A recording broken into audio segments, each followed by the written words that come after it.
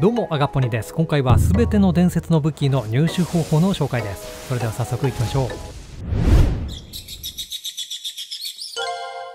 はい。では最初は剣継ぎの体験になります。必要能力値は筋力40、技量14ですね。戦技は一定時間全ての能力値を高めるといったものになってます。まずこれが戦技を使う前のステータスですが、戦技を使うと、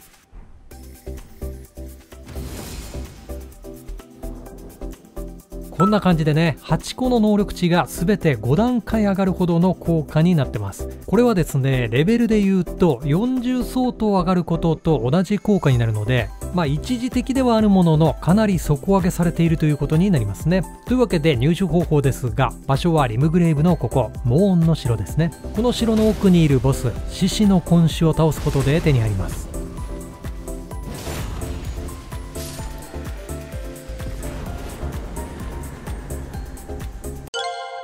次は世界くらいの王爵です。必要能力値は筋力24技量20進行25となってます。戦技は周りの敵から HP を吸い取るというものでこんな感じになってます。敵がね多ければ多いほど回復量も上がるので一気にガバッと回復することもできますがまあ、いかんせん発動が遅いので実戦で使えるかと言われると、まあ、実用性は低いのかなといったところでしょうか。敵に囲まれていてピンチの時にねこの戦技の回復に頼って発動するのはリスクが大きいかと思いますね。というわけで入手方法ですがこの武器は NPC ベルナールを倒すことで手に入るというものになってます。でベルナールを倒す機会は2回ありまして1つはリムグレイブのここ戦学びのボロ屋ですね。序盤あたりにここに行くとベルナールがいるのでそのまま倒すことができます。ただ倒さずにいると火山間に移動します。移動した後にね特殊装備なんかがもらえるイベントが発生したりするのでこの装備が欲しい場合はボロ屋時点では倒さない方がいいものになってます。でそのままベルナールのイベントを進めていくと終盤に行けるファルムアズラで敵対 NPC として出てくることになります。この段階がね2つ目の倒せるポイントになっているのでここで倒すことで手に入りますねただ火山間イベントを進めてボスのライカードを倒してしまうと火山間にいる NPC が全員いなくなってしまうことになります。まあ、こうなるとね、進行途中だった NPC イベントは進められなくなってしまうので、この点は注意が必要になってます。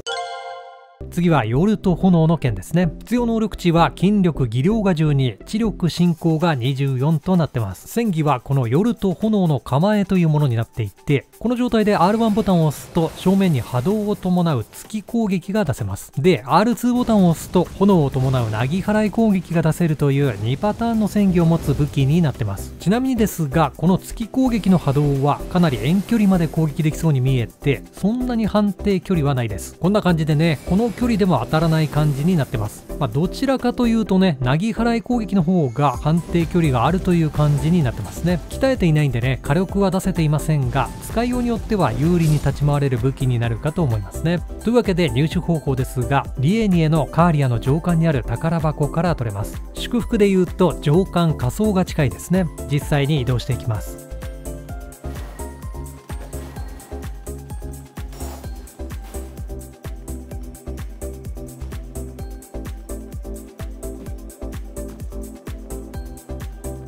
ここですね。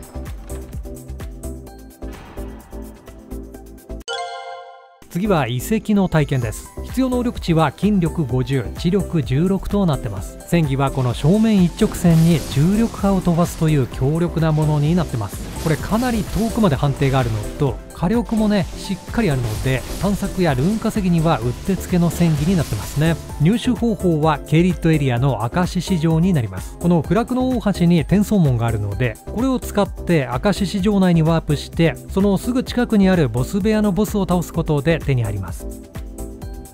ラダン祭が開催していると条件が変わってきちゃうんですがその場合はね祭りイベントを終わらせた後に来ることでボスベアが出てくるかと思います。でここのボスはですね2体出てくるのでなるべく1体を速攻倒すことが求められるバトルになってます。それなりにねレベルが上がっていれば意外とサクッと倒せる相手ではありますね。難しいと感じる場合はレベルが低い可能性があるので後回しにして後で挑戦するでもいいかと思います。ただまあこの場所はね序盤で来れる場所ではあるので最初の方に何とかして倒すことができて必要能力値の確保さえできればこの強力な武器をね序盤から使っていくことができるということになりますね。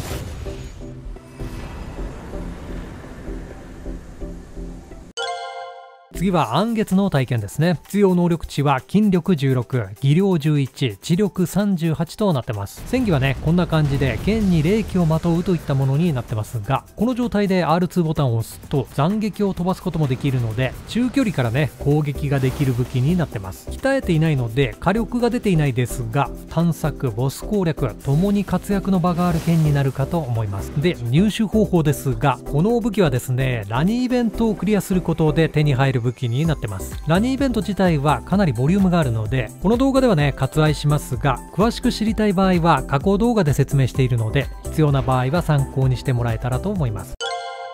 次はマレー家の執行権ですね。必要能力値は筋力24技量14神秘23となってます。戦技はこの独特の剣舞ですね。回転させた剣を投げつけた後に切りつけるみたいな感じになってます。鍛えていないんでね火力はない状態ですがまあそれを差し引いても発動が遅いのと戦技が当たったとしても圧倒できるわけではなくて、まあ、途中で抜けられてしまうこともあります。なので隙とリスクが大きい戦技になるのであまり使い勝手は良くないかなといったところですね。というわけで入手方法ですが場所はアルター高原のここ日陰城のボスを倒すことで手に入ります。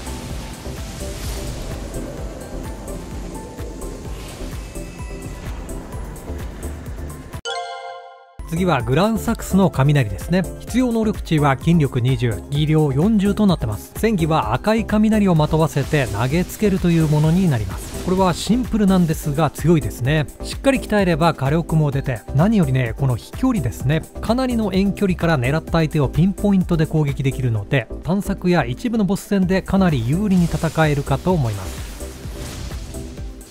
しかも槍なんでね普通にガードしながら戦うスタイルでも十分に強い性能になってます。というわけで入手方法ですが場所はアルター高原のオートになってます。一番近い祝福としては黄金樹の大聖堂ですね。実際に移動していきます。この通りオートの状態で取れる武器なのでストーリーを進めてオートが灰になった後は取れなくなってしまいます。なのでこの武器が欲しい場合は灰になる前に取りに来る必要がありますね。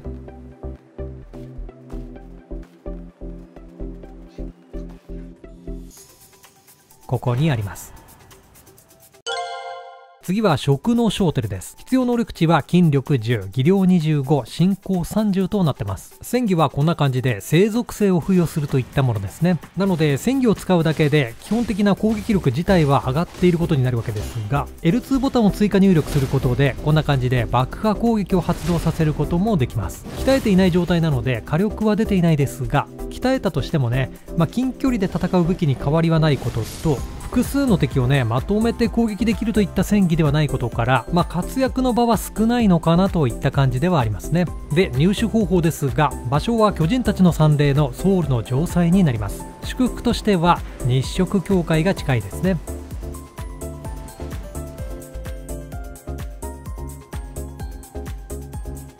ここにあります。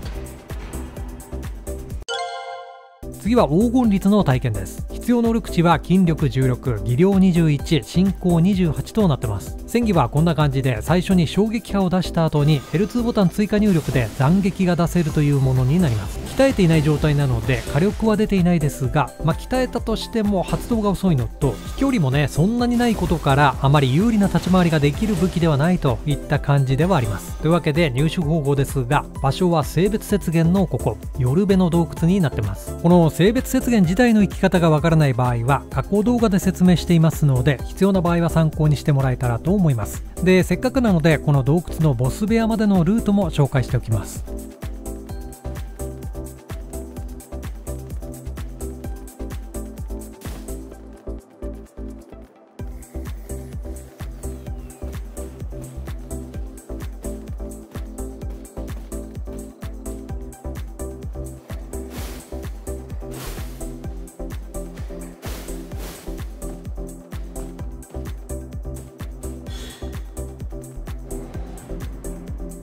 ここのボスを倒すことで手に入りますね。